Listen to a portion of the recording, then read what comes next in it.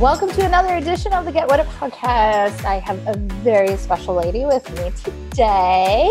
Uh, her name is Juliana Meyer. Did I did I say it right? Yes. Most people who listen to me on a regular basis know I screw up so the name. So, um, and she is coming from us all the way over from UK, right? Like Yeah. what, what part? So we're based in Norwich, which is about two out two hours outside of London. Oh, okay. So you are five hours ahead of us. Yeah, So this is like noon here, but drinking time there. exactly. It's definitely beer o'clock. I love it. Yes, that's what. Yes, you should be like toasting the beer. So, um, I had to. I don't have a fancy office. I had to hide from my kids today. Um, normally, I rent an office, and uh, I didn't. Ha- I couldn't do it today, so um, I'm in. I'm locked in my bedroom. I, I think du- during lockdown we're all hiding from our kids. yes, yes. Mm, So do you? So do you have kids? yeah, so I've got two year old, and um, and yeah, so for the last few months we've all. So my husband works full time, I work full time, and and obviously my son's here full time. Um, and at two, you know, he does need quite a lot of interaction, so it has been a challenge to make Oh. sure that he's getting the attention he needs, and we're still giving work the attention work needs. Um, so yeah, it's been pre- pretty relentless. Two year old man. Yeah, that's a handful. That's a handful. he's so. very sweet. Very sweet you say that now, right? When he becomes a teenager, you might be like, mm. it's interesting. There's a, there's a phrase that my dad often uses that I really love, which is um, "small kids, small problems; big kids, big problems." yes, yes, yes, yes. that is true. Yes, your dad is right on. All right. Well, we got to like before the kid figure out where, how, I mean, you have such an interesting background. And I was reading your bio and I was like, oh, like, so I, but I don't want to say anything. I want you to tell your story. So, um, you don't have to start like when when you came out of the womb when you were two but kind of your background a lot of um, i get a lot of people that inquire because uk education is different than what we have here so um, you guys universities yes, yeah, yeah yeah see yeah and, and i'll say a college and that's not the same so Yeah.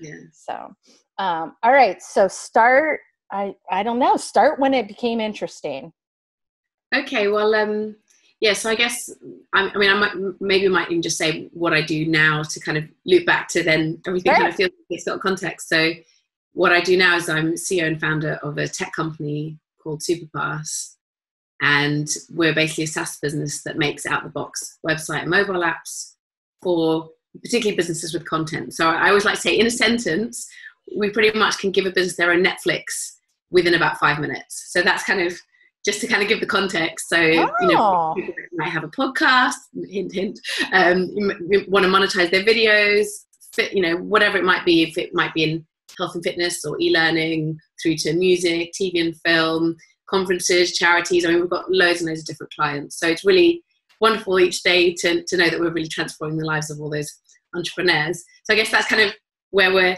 ending up. And it'd be good to um, to start, I guess, from the from kind of how we how I got the, here, and and I guess that kind of that entrepreneur theme definitely runs all the way through it because I feel like now what I'm doing as an entrepreneur is I'm really helping other entrepreneurs to be successful, to transform their businesses, to transition their businesses online, and to, to, to really create additional revenue streams for them. So that's really cool for me because we get to work with these really inspiring entrepreneurs every day. Most of my day is uh, sales and client calls with entrepreneurs that have various challenges, and we get to you know help them through that. So that's really fun.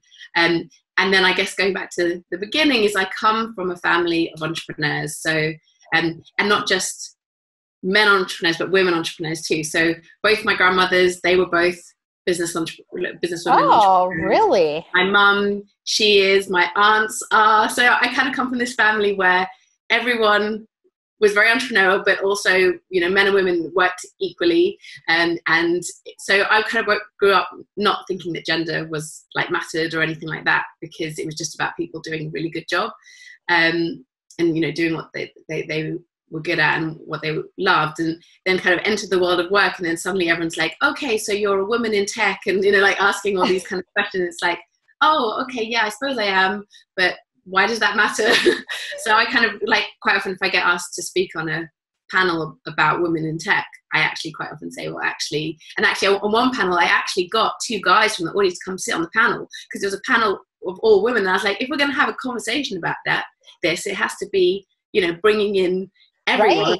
to the conversation. So that, so I actually got off the stage and went and sat in the audience, let them, give their views, which was quite fun. Um, but yeah, so um, I don't know where you want me to kind of dive in. Yeah, like you. So you, you so your family, you kind of have this in your blood. Yeah, definitely. Right? I think the, the the dinner table was where I learned about a lot about business because both my parents were working at one point in the same business, but then later on in two different businesses.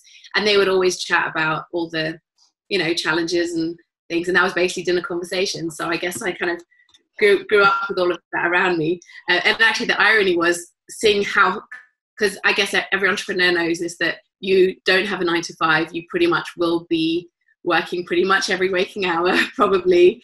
And if you're not working, you are thinking about it too um, and you're probably dreaming and sleeping thinking yes. about it too. Um, and my parents doing this, I thought, oh man, okay, I don't know what I want to do when I grow up, but I want to not be an entrepreneur, which was such an irony because then actually what I forgot about myself is that I really love solving problems. So I went and did um, engineering at university. So I did that at Oxford, and um, and the reason I did engineering was because I love a how things work and I love science and maths, but I also love solving problems and making systems more efficient. So the irony is is that I didn't become an entrepreneur because I wanted to start my own own business. I became an entrepreneur because I wanted to solve a problem. Oh, so the second part comes in when you went to the university. So sorry, I missed that the tech part like the technical part you did that when you went to the university yeah so um so my degree although was engineering it wasn't actually software it was actually the the, the course at oxford it's general so we did civil engineering mechanical engineering chemical engineering like we we did it's a really intense course you did it all yeah it's really it was really intense um we did do a little bit of software but like you know really only a small amount and um and yeah, so I didn't really do kind of software tech until later, but I've always been really into tech and computers and you know apps and how things work. And like when I was in a band when we were 16, we recorded our own. We we were in the news and stuff as it like a DIY, one of the first DIY bands when you know before kind of a lot of the like now it's really easy to record an album. But okay, we wait. were doing like time out there a band yeah, that, that's kind of where I started. so you're a singer? Yeah, yeah. So that's well, it's kind of See, of. this is like the interesting part. Like you were just gonna kind of like breeze through that, but yeah. it depends if you want us to be here all night or not. How much of the story do you want? so you're in a band in in as a teenager. Yeah, yeah. So we kind of it was it was actually like a mini business. So there were four of us, and um, yeah, so this was when I was 16, and we were in a, a DIY band where we recorded the whole album ourselves on before the technology kind of made it really commonplace to do that. Um, and we did everything ourselves. So we built, you know, had a website in the days when like having little menu items that jumped around was pretty, like that was pretty high tech. Uh, you know, this is back in the 90s, just to to kind of give the context. It's the kind of the end of the 90s, but but still the 90s. Um, and we, you know, we released the album ourselves. We ended up going on. Um, so for those that don't know UK uh, television, Channel Four is one of the four main TV channels, or back then, I mean, it shows it was like terrestrial where you didn't have satellite. so there were like four main TV channels. So we were on a program on Channel 4 and we did all this various stuff and we kind of featured in the news as a DIY band, but we were really doing it all ourselves. Um, and, and yeah, we had hoodies and t-shirts and loads of merch. Um, I mean, we, we basically, you know, we, we actually took, before I went to university, we took a year between school and university that a lot of that was actually paid for by you know the money we made with the band because we just I don't know it was kind of kind of cool, but we never really kind of took it further than that. But that was really fun, and I learned a lot about running a business through that. And the four of us all had very different skills. So as well as obviously the music side of being the band, we we did all the business side and, and all of that. But each of us had different areas. Um, and it's cool, you know, the, the, the, the band's gone on to do different things. So um, one of one of them works for the BBC as a sound production engineer. Another one um, is a still still in music. So she wrote one of One Direction's hits. Oh um, my god! Kieran. Um, and another one, um, he actually isn't kind of in that industry now, but he um, is is an engineer, so he's an environmental engineer. Um, so it's kind of cool how we've all sort of gone up, like we all learn a lot through that that process, and and yeah. So what kind of music? Was it like uh, oh, it was, rock? It was rock. It was rock. Yeah, it was. It was kind of rock, but with two female, very like a lot of harmonies. Um, so it was kind of melodic. Um, but yeah, it does feel like another lifetime ago. um, and then actually, and then I went to Oxford to do engineering. Uh, but then after that, I actually went back into music. So then I did a bunch of solo stuff, started my own record label, really, you know, to release my own music. Um, and through that, did some really random things like um, played at Glastonbury Festival, which is um, for those that don't know, I guess it's probably it's probably one of the most famous festivals in the world, um, and played at the uh, UK Houses of Parliament. Um, I know lots of oh I wrote uh, the um, Olympic um, the Olympic song for the so Norfolk's an area of, of England, and I wrote when the Olympic torch in 2012 did its rounds of the UK. When it came to Norfolk, I wrote the official Olympic song for that county. So when the torch came and was was lit in in, in the, the city of Norwich. Everyone was singing my song. It was pretty fun. oh my god, that is so cool and random, right? yes, very random, but that's so cool. So, like, do you have like a website? Like, what if people oh. want to go listen to your music now? Um, well, I probably need to do a bit of updating, but um, yes, um, I can be on YouTube. the link for the show notes. There we go. iTunes. iTunes. yeah, there is some stuff on iTunes and Spotify and stuff. Yeah. Oh my god, I'm totally checking.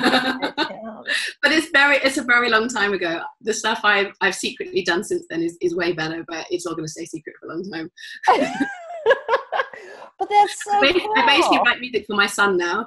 So, um, so yeah, the, most of the songwriting I've done recently has just been for him he's gonna grow up and be like, my mom's a rock star. He sings along. This is really cool. I wrote a song in January, and I just, you know, I just play it on. He's got a little guitalele. I don't know if you've seen them. They're kind of a mix between a, a ukulele and a guitar. Yeah. And I just play it along to. It's that I just used to play it to him at bedtime. He sings along. He sings the chorus. It's really, it's a really weird feeling for me, like having him sing along. It's like, how do you know the words? I mean, I guess it makes sense that I'm playing it to him, but it's just weird for me. oh my god, that's so sweet. It's sweet. That's so sweet. Oh my god. So you're you write music. I, I, I do, but it's in the past. I mean, honestly, the, the, the last 10 years I've been doing Supapass and it's all consuming. I work 16 hour days. It, you know, it's, it's lit. I eat, breathe, sleep it. Um, there isn't time, there isn't room, there isn't headspace for anything else.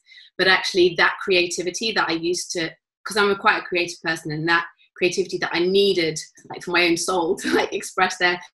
I, I, don't actually need to express that at the moment because with Supapass, I have to be so creative every day. You know, the stuff we're doing with the product is really innovative and disruptive.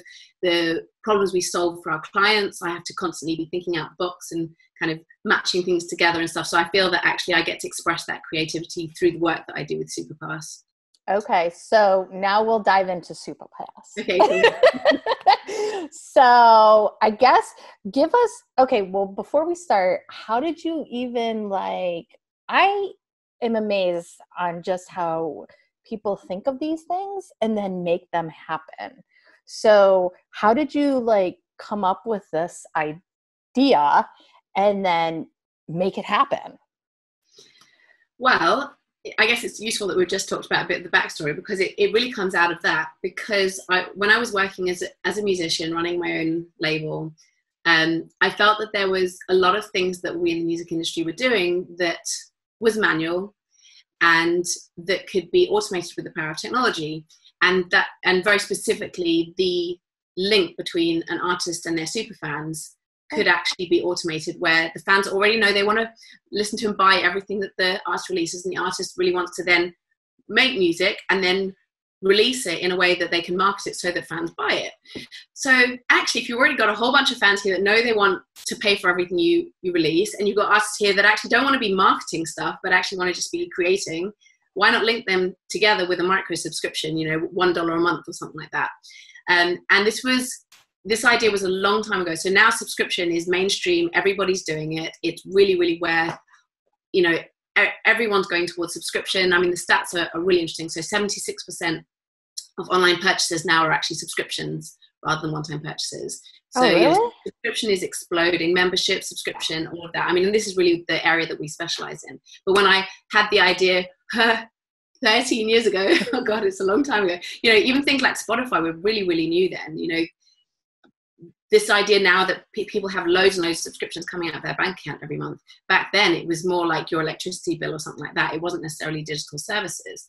Um, but I thought that this was really a no-brainer. That this is where everything was going and, and what people should be doing. And I thought it's so obvious someone's going to do it. So I actually waited a long time for someone else to do it. But I, I really wanted to use it for, for what I was doing because I was a one person business doing a hell of a lot of stuff. And I thought if I could, if I, you know, I had, I had thousands of fans that were saying, when are you releasing the new music that you've been writing? And I was like, I'm too busy marketing the old album that I spent, you know, I invested a lot of money creating it and it just seemed crazy so i really wanted this to exist so that i could just make everything much more real time you know then i could i could write and record a song in a day but then i wouldn't be able to release that for a year so instead i could write and release a song for a day know that that i'd already sold it pre-sold it to, to fans and that was really the thing that I really wanted to exist. So eventually, after about three years of waiting for someone to do it, okay, I'm going to do it.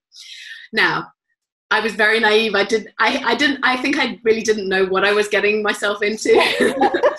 because you know, at that stage, I didn't really know. I, I mean, although I did an engineering degree, I didn't really know anything about tech. I certainly didn't know anyone in tech. Um, I'd very recently moved to the city of Norwich, so I didn't really know anyone in Norwich. Um, and I was really starting from ground zero. Um, but you know, where there's a will, there's a way, and I was very determined, and I just decided I was going to make it happen. So um, I actually started off setting up a network group, um, which is now it's Sync Norwich. It's, uh, kind of Norwich's tech and startup community. Um, but initially started with 12 of us. It's got, I don't know, a couple of thousand members now. But it started off with 12 of us in a pub. And I basically wanted to find like a tech co-founder to, to, to make this, this, this um, software with and and I did it actually my second second meeting and met a wonderful person who who came on board to to, to do it with me. Um, but yeah, that that community it was it was just the right sort of right timing because there is a really strong community here, but no one was connected. And it was really bringing everyone together. Uh, and oh, yeah. most of the team that we've hired have come through that network and through that community and everybody knows each other and is really supportive. And since then, there's a few more um, more kind of specialist groups that have formed.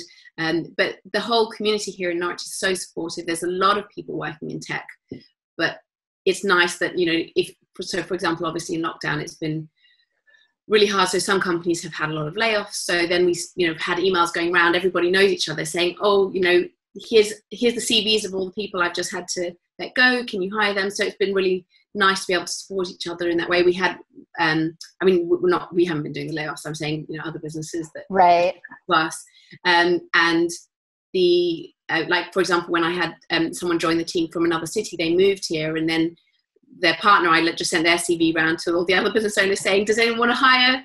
Um, you know, this this this lovely person, and she got a job within a day because I'd sent, you know. So it's really nice to have that kind of community but um, I, I, digress. I guess we're talking about Hassy. we have the same um, thing here in Columbus. We're very lucky that we have a tight knit group of uh, yeah. IT. Yeah, so that's awesome. That that it makes, it makes a really big difference actually, and I, I, think it is so important. And the thing is, you can make tech from anywhere in the world. I, we have clients that we sell to all over the world. We've never met them in person. We do everything over Zoom. I mean, obviously Zoom's very popular now, but we've been using Zoom for years. Um, we, yeah, I mean, we do all of our sales and all of our client success all through video calls because oh, so you're this world. is this is not new to you. no, it isn't, but it's nice to see everyone so familiar with it now. so, we're all advancing in our Zoom ability. It's great, it's great technology. Um, yeah, I think the first time I used it was a few years ago, where someone else got me on a call with it. I mean, I guess this is the, the, the best kind of um, viral marketing, isn't it? And then it was we, we'd been using various video conferencing software for years, and it, this was by far, you know, hands down beat all of the others. And that was yeah. before they'd got like, the funky features they've got now. That um, is true. So. Uh, so yeah, I, I, feel like I di- digress. I, I, I, feel like I want to make this story a bit shorter, but so, so skipping over quite a lot of the detail. You know, starting from really not knowing anything, um, ended up kind of basically bootstrapping for. So the first three years was hard. It was basically bootstrapping. I had no money. I didn't. I didn't know anyone. I had no money. Um, you know, we were literally doing it from from zero, and um, really just went out and just introduced myself to people and built up a network by pretty much going to conferences and going up to whoever it was I wanted to speak to and saying, "Hi, I'm Juliana," and, and it, it, it, actually worked. I mean, you know, I've ended up with a network of some of the top leaders in the world. For a time, we had Jeremy Silver, our chairman, who's one of the top thought leaders in the world in this space. And so he um, was CEO of Sibelius until that sold. To, so Sibelius is the world's leading composing software and he grew that and then that sold to um, Avid. He also was um, chairman of Music Metric that sold to Apple. He's had loads oh. of and that, and he's currently CEO of, of, Digital Catapult, which is the UK government's digital program. So he's um, uh, he's amazing, and he was our chairman for for a while. And sadly, he had to leave because he got the job as CEO of Digital Catapult. Um, but we, I mean, we've got this wonderful network of of people that have helped us all along the way. Our current chairman is, is Clive Gardner, and he's actually been helping us almost from day one.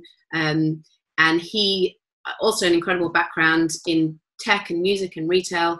Um, so, so yeah, we're, we're phenomenally lucky to have um, these brilliant people kind of on our advisory board and supporting us um, and just just helping out. Um, and yeah, and, and that basically came from me literally going up to people saying, "You don't know me, but here I am. no, I love it. and yeah, and I, we didn't have any money, so I was just supporting myself by teaching cello in the evenings. I had all these kind of cello students used to come around my house in the evenings, and I'd do all of those, and then in the day be like dress, you know, kind of frantically trying to, you know, build some technology and get some get some people using it.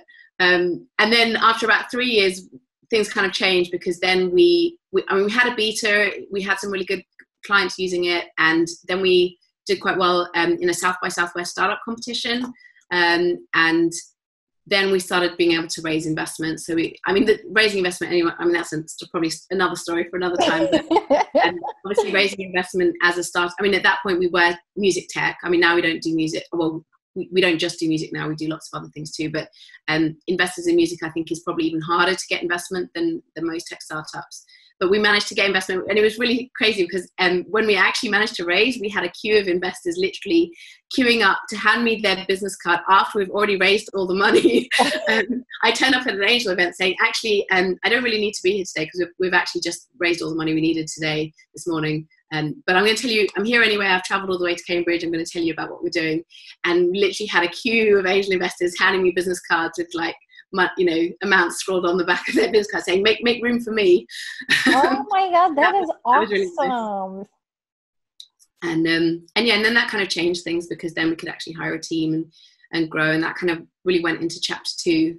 I feel like there've been three chapters super fast. So chapter one was bootstrapping with literally nothing. Chapter two was we raised some money and we we basically then became the fair trade streaming the fair trade streaming app for music where um, artists could actually earn up to 100% of their revenue from streaming they could each have their own subscription channel so the fans that were subscribing to them could each actually know their money was going direct to that artist so it's a really different model for the music industry and we worked with quite a, um, a lot of the big um, big music companies with that. And but then what started to happen is we actually found that we were getting approached by all sorts of other businesses, like um, in TV and film, and um, really just all kinds of places that had content and actually wanted to monetize it. One of our first outside of music was um, a celebrity called Matt Hayes. He's actually um, a, one of the world's top fishing celebrities. So he's got loads of TV series on Discovery Channel and things like that. And he came and said, you know, I have all these DVDs I need to somehow, you know, people don't buy DVDs anymore. People don't even have DVD players, but this is the only way for my fans to buy my content. The other place that they can watch it is, is, is reruns on Discovery Channel or bootlegs on YouTube where I'm not getting any money for it. Right. So he basically wanted his own mini Netflix, which was then where the fans could pay 20 bucks a year to then access all of his, you know, series and, and back catalogue of films and also fund him to make feature films because obviously the way that funding in broadcasting it's really changed in recent years um, and he did you know he's, he's got a really really i mean fishing fans who knew are really really fanatical. So you know they really love what he does and he's got a really good rapport with them. So this was a great opportunity really for him to have his own membership and his own netflix all tied into one um, and that really opened up our eyes to well we kind of always thought it could be used for other things but it, it kind of made it more instant we were like okay well let's do it for him and that went really well and then i did a talk at a tech conference where i then had some people saying i've, I've got this course i sell into universities and I really need an app to do that. Um, and that was our first e-learning client. Um, and it's really grown since then. And then we, we really started investing more in that side of the technology. And that's when we then looked at white label. So up till that point, Supapass was a platform with different channels for, you know, each person had um, and this was before Patreon as well. So when Patreon came I was going to say this Patreon. I've heard of Patreon. Yeah. So we were doing this before Patreon, and when they came along, I, I mean, I, I think they've executed really well. I think they're a really great team and a really great product. Um, and it was really nice to see that. And then I was kind of like, oh, okay, well, we don't have to do this bit because actually Patreon were doing now doing that really well. And the opportunity then really was in actually white labeling it because actually that's what a lot of the bigger celebrities and brands actually wanted was they yes they want to be able to monetize their content and have their own subscription but they really want to do it on their own website and in their own app and we, there was a way for us to quite easily um, do that with our technology. So that's really where we went next, and that's really what the product is now. So basically, out you know, as I said at the at the start, kind of within five minutes, you can have your own Netflix or Spotify, or you know, if you're a podcaster or whatever it is, if you've got audio, video, or, and even articles or blogs, you can have all your content together. You can monetize it in a way that you're getting 100%. I mean, even Patreon stuff, you're still giving a rev share, you're still losing, um, you know, the amount that Patreon have to pay in taxes and stuff, you're still losing all of that. With this, you literally get 100% of everything. All the money goes directly to you, and we're literally just powering the tech underneath it all. And if you're doing video courses or you're um, really, you know, any kind of content, and actually quite a lot of our, our clients now are actually podcasters who aren't just podcasters. They also have a video course. They also sell consultancy. They also want to do live webinars. They want to do all these different things. And at the moment, the call to action, you know, you, you say, um, you know, listen to my podcast, then you're saying, okay, go to my show notes, and in the show notes, you're saying, okay, go to my sponsors or my or my website, and then at the website, you're trying to get them to contact you to then buy your consultancy or like whatever it is. Whereas actually, with what we can do, is the call to action on the podcast can be download my app, and then with the app, you're then able to read all the show notes. You can make comments and join the community.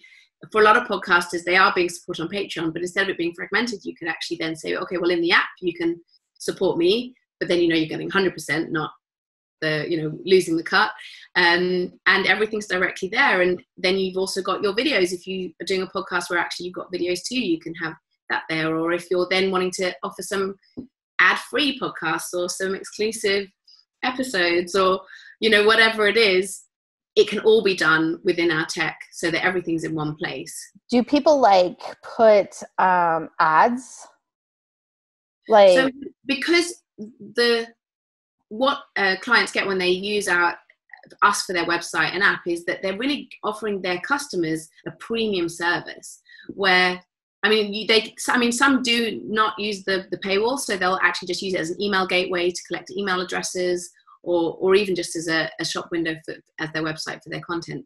But in most cases, if they are using the paywall, then then their customers are, are, paying, so they don't want ads because obviously most of what you're paying for is the fact it's a kind of ad-free environment. So so no, we actually don't support ads at the moment because we find that's not something that our customers want. It comes up occasionally, but um, we just felt that you know doing the experience as it currently is feels like a really pure experience. Okay, yeah. I mean, most people will if you're playing a game on your phone, you'll pay for that premium like 99 cents or whatever ads, exactly. just so you don't have to have the ads it's, it's, the same with with audio and video content you know a lot of what youtube's subscription now is about is about people actually being able to watch youtube without the ads Um, so, you know, I think people actually really value their time more than a few bucks. So, actually, if there's something that you are spending a lot of time on, you don't want to be interrupted by ads. You don't want to be wasting your, you know, minutes of your life is probably the most precious thing you have. So, actually, you know, pay, especially if the subscription's is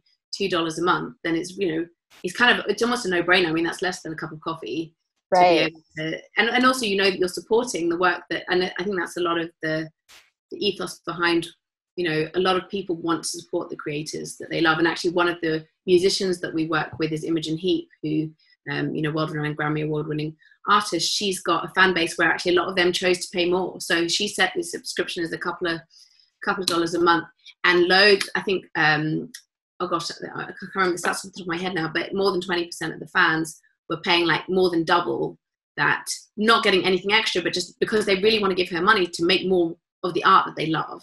Right. Um, and uh, and yeah and i think that's a really big thing and i mean that's basically what happens on patreon isn't it? A lot of those a lot of those fans aren't necessarily i mean some of them are getting extra things but for a lot of them then you know they're supporting the podcaster where the podcast is already really available but they're actually wanting to support you know the the creators so uh, that's yeah. super cool wow of course now like i'm like huh huh, Juliana and I will be speaking. Yeah. Well, this, what, what, I, what, I, love actually about what we do is because it's so universally applicable and it's really for any business with content, which these days, given how co- important content is, that's almost every business.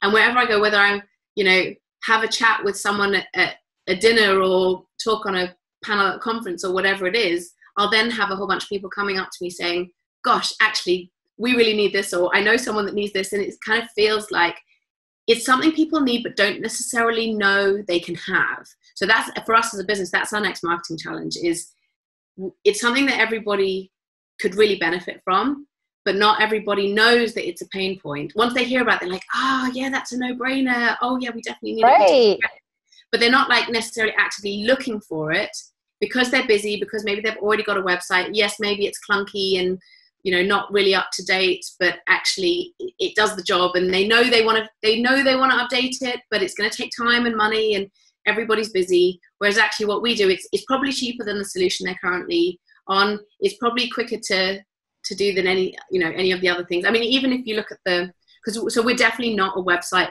builder um, you know if you look at wix and wordpress and stuff like that um, people can use us instead of that but we're not like that in that you can't come there and customize everything and i mean you know we're not trying to do everything and be everything but actually that's one of our strengths because for a lot of people that use wordpress or wix they like they actually hire a web designer to then go and build it for them because it's quite mm-hmm. complicated especially if you've actually got tons of content. You did. Exactly. Perfect. Perfect example. I mean you, are not alone. This is what I, you know a lot of people do because it is complicated. People are busy. You probably value your time more than the amount of time you have to take to, to learn it.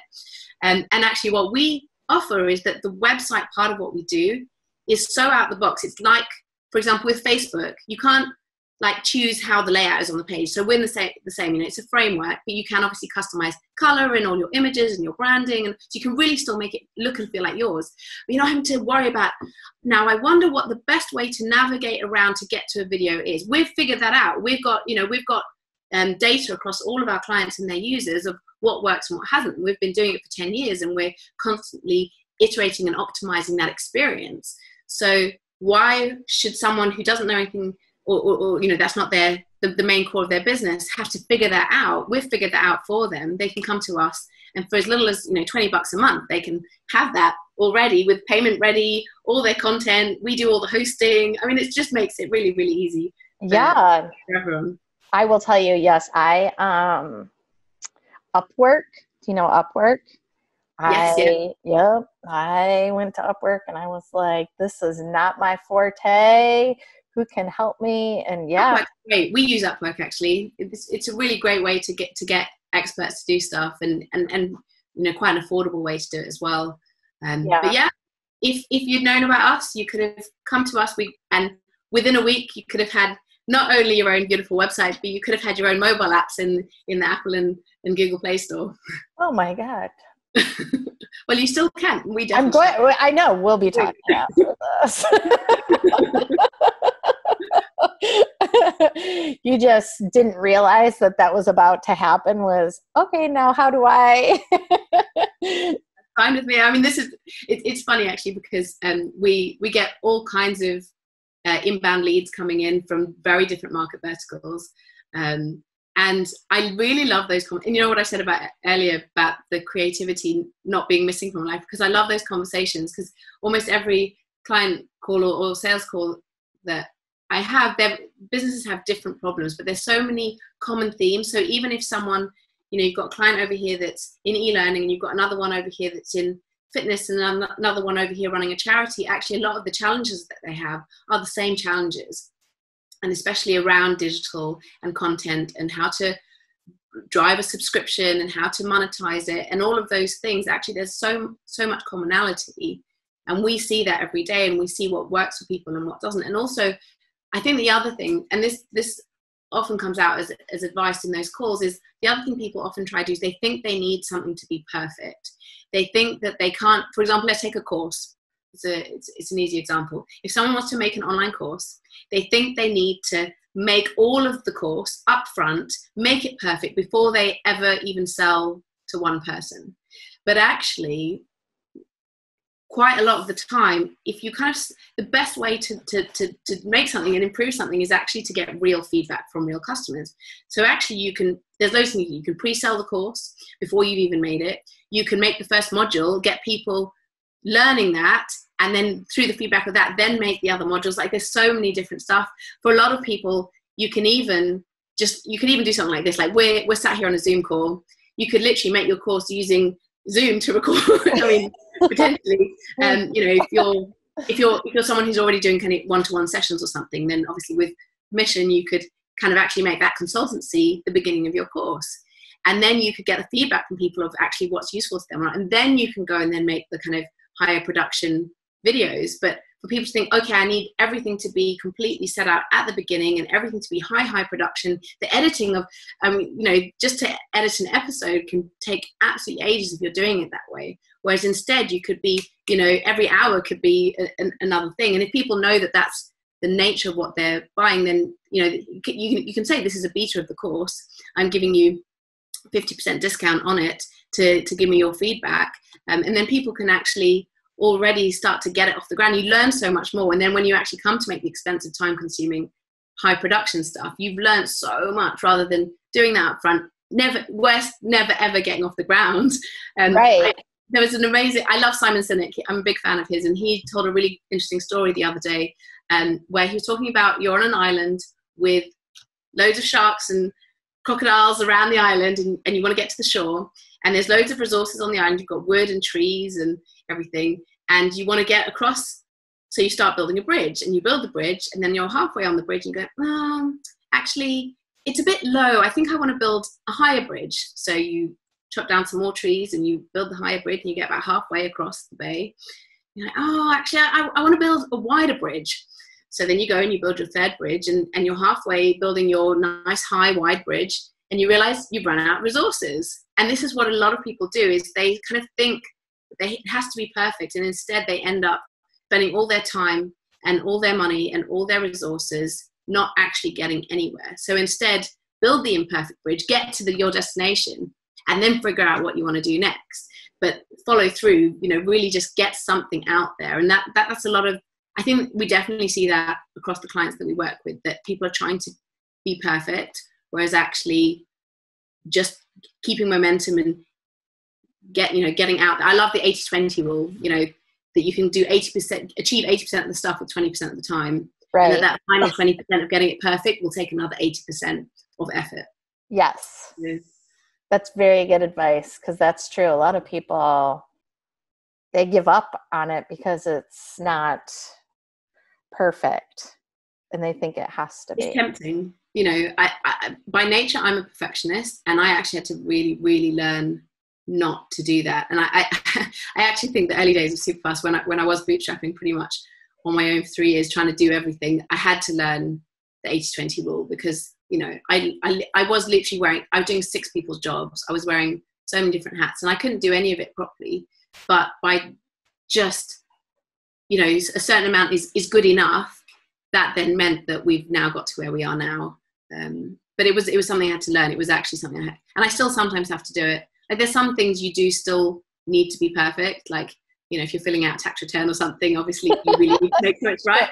But you know, if you're I don't know writing writing a blog post or something, you know, it gets to a certain point where you could keep editing it forever, but actually just getting out there and writing the next one is probably more important. Right. Yes, definitely. So, what? Okay, so you're so busy all day long. yes, yes.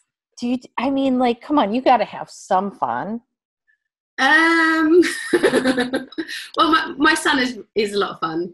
Um, I think. I mean, you know, particularly now that we've been in lockdown for a few months, um, it's just really challenging at home. You know, we're doing full time work, full time childcare. There, there really isn't a lot of time for for anything else. Um, but I love being outside. I love the outdoors. I, you know, I think that's really, really important. So um, I definitely try and get in some fresh air and exercise a few times a week, um, and try and make the rest of the team do it too. Um, you know, I'm always like, "Have you been outside yet today? no, it's beautiful, sunny. You can work later. Do just go outside right now." so I think you know that work-life balance is really, really important for everyone else. I'm not too good at it. Um, um, for fun things. I, I, I joined the D and D group recently. That was quite. That's been quite fun. The what? Uh, sorry, Dungeons and Dragons. oh. lockdown, you can't, literally can't go anywhere, see anyone. So we're we're doing it on Zoom, and it's quite fun. It's once a week, um, with actually with um, some uh, the local developer community. Oh, so that's fun. It's been really fun, actually. So, have you been has have your industry been hit at all with this whole COVID craziness? I, I think realistically every industry has been hit. I mean, we've certainly seen it with businesses we know that have had, you know, big big job cuts and things like that. Um, for us, what's happened actually is we've been busier than ever because actually a lot of businesses are trying to transition online. So, for example, you know, a gym instructor who used to do all, um, like a yoga instructor who used to do all their classes face to face. Now suddenly they're having to do it on Zoom, but actually managing how they get the Zoom links out to everyone is a bunch of emails. Maybe people want to watch back the recording afterwards. That's a bunch more emails and weird links and downloads. And um, they want to collect some payments and they're having to set up PayPal over there. So all of that stuff we actually can solve, you know, by just they literally just have their their website or app that all of that can be managed in it. And then people literally just need to create their login but then all of the content is then there in that area. And we have a really cool feature which is um, where they can actually have that in a private space as well. So it doesn't necessarily have to be public to, to others. So a class, a cohort who um, are just attending that intimate class and the videos are intimate, let's say postnatal mums, they're not going to want that to be on the internet, but right. it might be a video just for all the people in that particular class and the Zoom might in- include that kind of co- collaboration between all the mums in the class. Um, and then that can actually go into a private space in the app or, or, website that only they can access with a special access code. So there's some really cool new features we've brought out specifically to cater for that kind of stuff. Um, and yeah, so we've just been busier than ever because we've got all those kind of business, physical business trying to transition online. Then we've got um, clients, existing clients actually wanting to use it much more than ever before because suddenly all these other activities they were doing in their business that were distraction in the physical world that they now can't do. So now they're like, oh, right, I really need to do more with this. So we've seen that. And so some of our clients are doing a lot of deals. So, um, for example, a fitness client has been doing a lot of deals with gyms where all those gym memberships can now have access to all of their streaming content. Oh. So we built some extra stuff into the system to enable them to do B2B licensing deals. Um, so yeah, lot, lot, it, we've just been busier than ever, um, which is, I guess, good for us, but obviously bad given the circumstances. Um, but yeah, it's yeah. I think I mean I think everybody's been hit by it in different ways, um, and certainly the emotional uh, context is really really different, and um, you know people are going through all kinds of different hardships. Yeah, it's been yes up and down roller coaster. Um, Absolutely. Um, yeah, I've said to multiple people like we're like overly tired children right now. yeah there's definitely a tiredness that comes with this, whether it's the low lying stress and worry or something about not actually, you know, interacting anywhere other than on a screen. There's all kinds of reasons. Right. Um, and of course, there's, you know, I mean, I I I, I had a friend who died um, of COVID. She's only 35. She didn't know she had underlying health conditions. Um, you know, and, and I know lots of people that are going through all that kind of stuff. So of course, we're all dealing with that. And the other thing that's definitely, uh, you know, happening at the moment is normally in life, people go through hard times and, and grief and different things, and they have a network of people that they can turn to support them, family, friends. Um, but at the moment, everyone is going through that. Everyone's going through their own stress. So you turn to your support network, but everyone is stressed. everyone emotionally overloaded. Um, so actually, that kind of adds to it as well. It does. It definitely does. So. Yeah. Well, are you guys still locked down or can you go out? So we're technically lockdown easing, which means that a lot of things are opening up, oh. but with social distancing. Okay. The message is still kind of if you can work from home, do. Mm-hmm. Um, as a team, we actually have we've just uh, closed our office uh, uh, for good for the for the moment. So all the team has decided that for the next six to twelve months, we all want to continue to work remotely. When things get safer, we'll still probably meet up, spend Fridays together or something like that. Um, but yeah, actually, we're working really effectively remotely. Um, everyone's really enjoying being able to work from home. Um, we're very tight knit team. We're very collaborative. Um, so, like for example, this morning we had a, a team-wide team where we were actually designing a whole new part of the system. I was a bit ner- we've done we've done a lot of stuff remotely, but I was a bit nervous about that because normally those kind of days they they don't happen that very that often, but they're very very creative and collaborative. And you know, it's the sort of ones where you get out a big whiteboard across the right. whole and everyone scribbles around, and your breakout sessions, and um, and you, there's just really energizing atmosphere. And I kind of thought, oh, how I kind of felt a bit like I was going to meeting a bit with my hands tied behind my back. Like, how can we express, get that same expression out? Um, but actually, it worked brilliantly. I feel like we got all of the same creativity out as we normally do. Everyone felt very included. We have a new member of the team who's literally just joined. This was his first meeting with the team. And the first 10, 15 minutes of the meeting was actually just social, just introducing everyone, catching up, making him feel really welcome. So we, we do actually do a lot of social stuff on uh, Zoom as well. So we'll have two, three or four sessions a week where it's uh, coffee sessions and then a, a, a, beer, Friday beers as well, where we do, we don't talk about work, we talk about life, and we just support each other. And I think making the as a business making the time to do that is really really valuable for for the whole team. And I think businesses that think they don't you know can't afford business time to to do that actually I, I think they're they're really you know, I would really, really strongly recommend that because we we really, really support each other in a personal and social um, aspects as well. And I think during this period, different people have uh, got the lockdown blues at different times and needed different support at different times. And without those sessions, you don't pick up on it. If you turn up to a work meeting, you don't notice that because people are being professional and you know talking about what they need to get on with. When you have those kind of chats, people can really say, you know, maybe they're just thinking about I know the sky or the something they read on the news or whatever it is. But those things come out, and then you can pick up on actually how people are really feeling. Um, or, or if people aren't turning up a lot, then you kind of think, oh, maybe I should give them a call and see how they're doing. So we've been very, very close to each other and really supporting each other. And I definitely recommend that because it's made a huge difference. That's great. And, How many people are on your team? 14 of us. So you're like a still startup size. Yeah, yeah. So we're, we're small, but I actually really like that size. We have at different times kind of grown a bit bigger than that, and I've actually kind of kept scaling it back to this size because it kind of feels like it's that critical turning point where when you get bigger than that, you start to have you you actually lose a lot of things.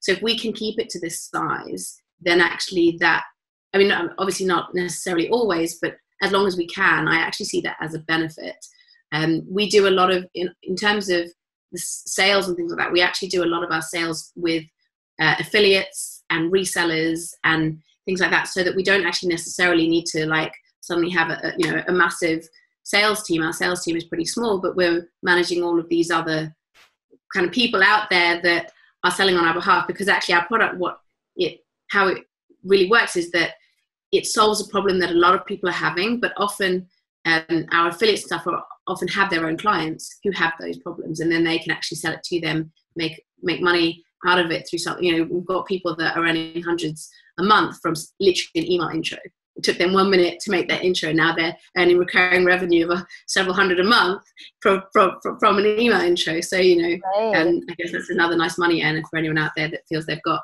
clients or a network that could use what we're doing. That's, oh, yeah, I didn't think about the affiliations that you could work through. So, yes. Oh man, girl, you're just going to take over the world. I love it. That's the plan. I mean, that's, I mean, let's not joke about it. I, I'm serious. Like that's that's our ambition. Is we want to be the platform people come to to have their own content website and mobile apps. Okay, so since you said that, what is, what's the website? So basically, our product um, is where our clients have a white label website, iOS app, and Android app. So it's theirs. It's on their URL. It's all their own branding. We're we're white label, so we're you know in the background. Nobody knows that that website is Supapass website. So is and, it supapass.com? Like, how would if anybody wanted to reach out to you? Like, oh, our website. Oh, sorry, yes. no, um, yeah, so that's kind of important to share. So um, yeah, it's literally supapass.com, and it's super with an A, so that sometimes um, catches people out. So yes, S U P A P A S S dot com. Um, and it's really easy to sign up there, or if anyone wants to have a call with us, they can just you know request a call. So uh, so yeah, and it's okay. And then within they, a week, someone could have their own mobile apps, and, and they can um, reach out to you. Like I have um, a lot of people that I know that um, do the content, like the courses and that kind of stuff. So I I'm gonna pass that along and be like, you should just do this. yeah, that'd be amazing. Thank you. This would be a lot easier for you. so, but um, all right. So, um, S U P A P A S S dot com. Mm-hmm. Right. Anything else? Like, what else do you want to promote out there? Um, well, I, I, I guess I'm really focused on that. like, that's it's so it's so all encompassing what, what we do and um, yeah i mean I just, I just feel like particularly at the moment so many businesses are struggling because of the pandemic and so many businesses are trying to figure out you know what's my business going to be doing 12 months from now? And what i would say to businesses out there or anybody listening it doesn't have to be businesses maybe you're just a, a creator not just a creator creators are amazing but you know maybe you're a creator maybe you're running a business or or whatever it is you're doing, if you're not already thinking about subscription, I would say it's something to definitely start paying attention to because it's where everything's going. Um, and it's really, really easy to do these days, um, especially with a platform like ours, but there's lots of other options out there too. Um, and also with content, the, the challenge with content is that people seem to you know, for, for, end users, they're used to using things like Netflix or Spotify or all these things that are beautiful, seamless, intuitive. And then if you're doing your own website for your content, then people will come there. And a lot of the time it's then clunky and difficult to navigate around. And end users are really, I guess, really spoiled now with this amazing technology. And what I feel really excited about is that actually we level that playing field. We say, well, why shouldn't you have the same technology that Netflix is offering? And that's really what we're aspiring to be able to give to content makers is to be able to have that experience, that user experience for their customers, but without having to build it from scratch or pay a lot for it or have someone else's brand on there. So it's not, you know, it's not a Facebook group or YouTube channel or even a, a, a Patreon. It's your brand they're coming to your ecosystem. You own the email addresses, you own the data, you get 100% of the revenue. You know, it really is for a lot of our clients, they say it's a game changer for them because it gives them everything they need, but without the, the cost and without the, the complication and the time that they need to invest. So I do feel that I'm really excited because it, I don't think there is anyone else out there quite solving that problem there's lots of peripherals and you know if you're just a podcast or just making courses there are options out there but if you're making multiple types of content video and audio and having a blog or articles there isn't really anyone that's solving that. Right. Definitely. I'm going to be sending Get Wit It stuff to you now. Excellent. Yeah yeah you're welcome. That'd be awesome. Then on your next your next episode, you'll say your call to action will be download my new app. Download my new app. Um, but I will say, um, so um, we are having our virtual conference on um, September 29th, 30th, and October 1st. I do a little promoting here. So um, I, I will send over the information and you can blast it because everybody, um, we are hoping to get a lot of international. Um, I know it's going to be Eastern Standard Time, but hopefully that, um, well, I mean, for you, it was kind of after, later afternoon, evening. So yeah, it's, it's a good time to join a conference. We're quite, yeah. we're quite often doing conferences on, on the East Coast. So yeah, that's um, a good time. I know when you do a virtual conference, although we will have it accessible um, 24 hours. So I'm really interested. What tech are you using for the virtual con- conference? So this is so funny. So I just signed the contract for Hexafair. Okay, cool. Do you know them? I don't know, but I'll definitely be googling in a minute. so they create this like kind of like this like you game changing um, you're an avatar and you're walking through the booths because we are nonprofits so we have sponsors and um, a lot of video interaction um, with avatar to avatar kind of thing and um, speakers yes so um, they i did a lot of research on this as far as um, when i started to first look at it the some of these platforms were like $200000 and we're like yeah we have like five because we're nonprofits so every year you know we just have enough to yeah. book for the local venues but now that we have four chapters we're launching Pittsburgh this week. Um, it's you know it's not like we're rolling in money, so um, I had I was like, yeah, this is way out of our league, and there weren't things I could do. So like on the back end, I have to be able to upload the content and be able to do all that and um yeah some of that stuff i just couldn't i was way above my head way above my head so. User experience from that kind of thing so important isn't it? Making it really intuitive. Yeah. And we and one thing that was really important for me was um, the user experience.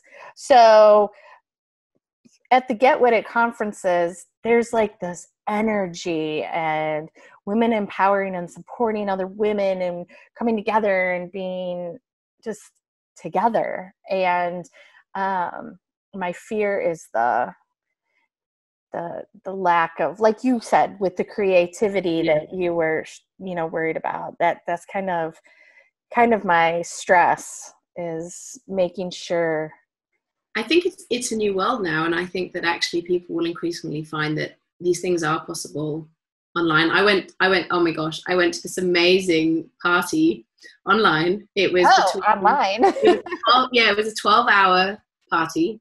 A twelve-hour party. Yeah, it was it was incredible. I've been to three of them now. They're amazing, and it's all these creators from all over the world that have all these different breakout rooms doing different things. Um, and and honestly, this party I found everything I would normally find at a normal party. So there was random conversations with groups, random conversations with individuals, um, there was even a toilet queue where you know you end up just like I don't know. There's a certain kind of conversation you end up having in toilet queue. We even had like that as a as a room. Um, there was entertainment. There's a live jazz band. There were DJs. There was people painting.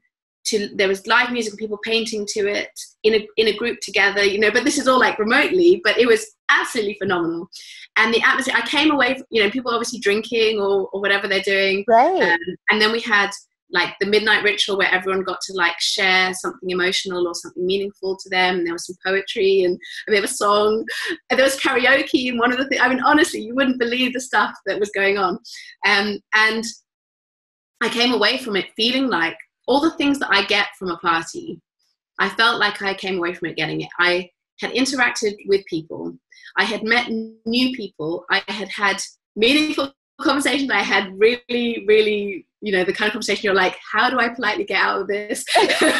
um, I had lots of fun and it was great. And then actually, because we are in the UK, so I, I stayed, it, started at 8 p.m. here and went, I stayed till about one in the morning.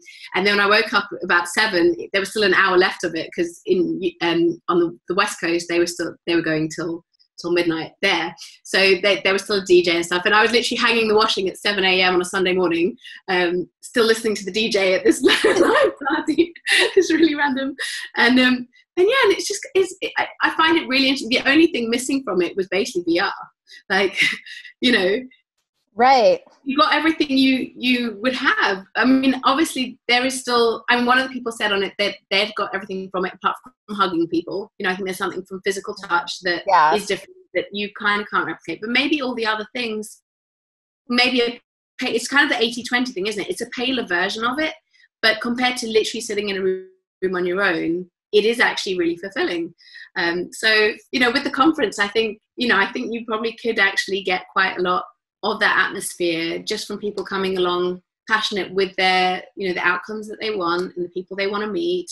I went to a conference recently where there was one-to-one networking with random people and i did make i got three sales calls out of you know i had to have four conversations and i got three sales calls out of it so when i go to a conference often it is about expanding my network and meeting people and I got That's that out of this want. conference. And, and there were some people there that I already know, so I reconnected with them. Hey, how are you? How are you finding things? And um, whilst the talks were going on, they had an expo where they showcased the sponsors. It was amazing seeing all of this, you know, online. Yes. So well, we're going to try to pull it off. I think it'll be brilliant. So yes, we're hoping. Um, and then after the event, you could have an app for it where you put all the content after the event for people to come to. They can still continue to comment, and then all oh. Oh yeah, you year, and I, we're going to go ahead and talk about it. Yeah, yeah. I mean, we, that's, that's we provide for conferences. is, is you know, so so the, the conference stuff we typically provide is not for the actual conference day, but it's for what the conference does all the rest of the year round, where they're really because because the thing is with conferences typically you spend so much time building up all that work towards one day Right. And then the rest of the year it's like zero. Whereas actually what we can do is we can help you to create that energy and community all the year round. You continuing for that content to actually keep living as well. Um, and in some cases also create a revenue stream all the year round. So yeah, we do quarterly events and um, I think sometimes after the conference it's like this like yeah yeah yeah yeah and then kind of like a and we have to rebuild that excitement all over again every year. Yeah. yeah. So, um, yeah. Plus app for the. I need to get rid of app. yeah, yeah, exactly. And you can have and the things you can have it all together. You can have the podcast in there, and you can have the conferencing, and all of these can be different products within the same app.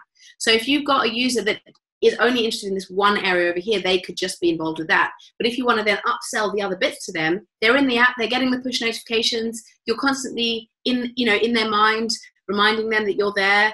And so it's a great way to, to actually have a funnel to the other parts of your business as well. Yeah, that definitely, definitely. okay, well, we'll be talking about Get Wit It. Right, done. okay, well, I mean, I don't. I could talk to you for hours. I know. I, I hope that we can talk again soon because this has been really fun. this has. I could talk to you for hours, but you're really busy, and I am always aware of people's time because Absolutely. I don't want to take up too much of your time. But what if we hook up again? Yeah, sounds good. Let's do yeah? it. Okay, great. And I'm going to send you over my Get Wit It stuff. Perfect. do it. Let's just get you set up. yep. And then we'll just get all set up, and then I'll be like, look at this. So, um, perfect. Okay. Well, S U P A P S U P A P A S S dot com, correct? and um, Juliana and the small team, so it sounds like you'll get you'll get a quick response and all your questions will be answered. Yeah, we, we, we do a lot with it. With it, we do a lot with a little. A lot with a little. I love it. Perfect. well, enjoy your evening. It's like now six o'clock there, right? Yes, it is. Indeed. Yes. So you probably have to feed that kid. I am indeed going to do that next. and, and then I'm going to write some board papers. and then you're and then you're back at it again.